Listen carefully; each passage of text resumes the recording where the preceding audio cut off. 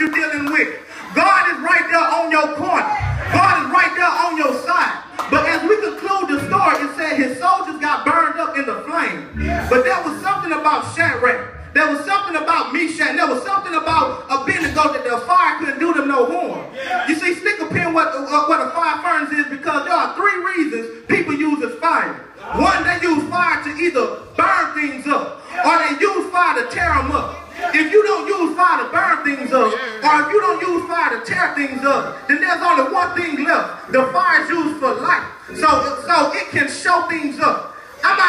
tell you, since the fire couldn't burn them up, and since the fire couldn't clean them up, there was only one thing left for the fire to do.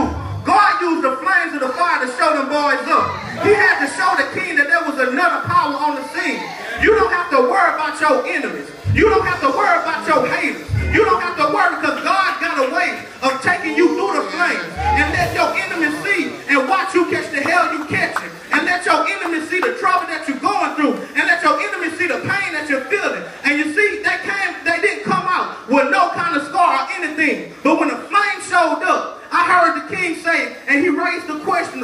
that didn't follow my orders? I told you to put three men in the fire furnace.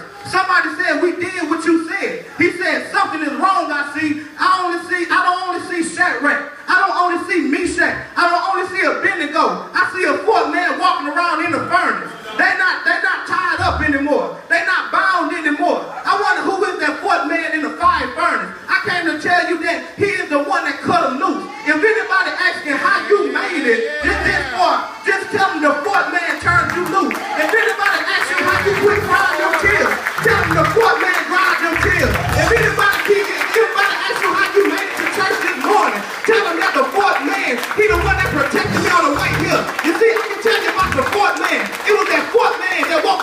ноль.